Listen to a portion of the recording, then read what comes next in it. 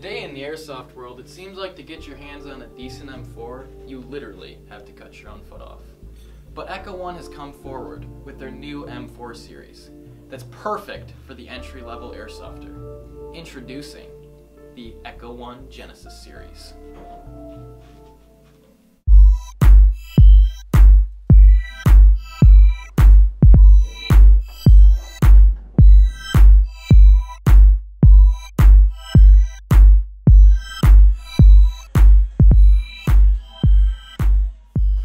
Exactly what you're thinking. It's just another M4. But it's not the externals that make this gun special. Internally, Echo One has made a pre-upgraded full metal gearbox, which they have clearly stated on both sides of the stock. Now I don't know what black magic they did to this gun to make it shoot so well, but it's alright.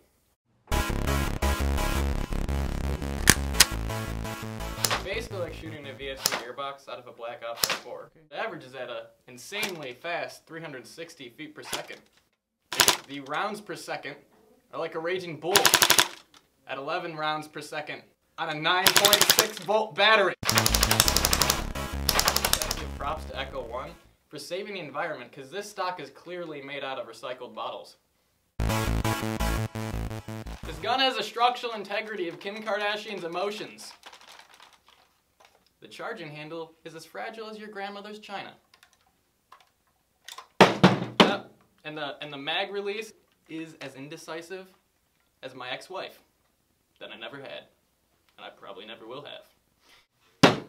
But seriously, we may have our jokes and all, but for the price of $135, there is no comparison to this gun. I'm gonna be completely honest with you guys. It's got it. It has it. It's got the vibrato. It knows what's up. Performance wise, I actually am impressed.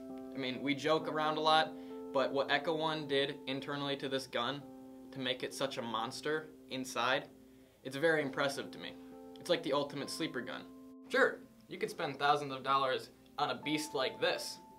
What kind of idiot would spend that type of money on a gun? And plus, it weighs more than my conscience.